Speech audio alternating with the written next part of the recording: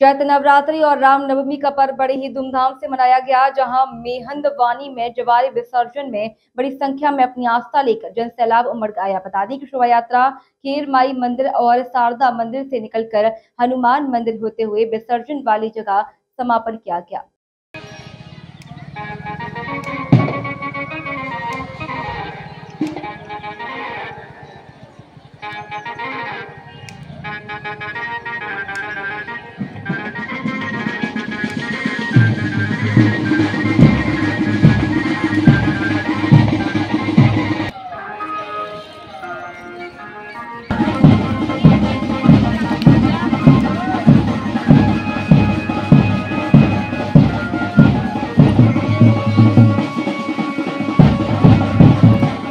आरिफ रजा की